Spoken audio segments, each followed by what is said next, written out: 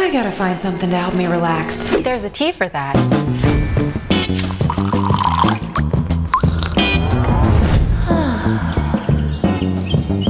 Traditional Medicinals, where wisdom meets wellness.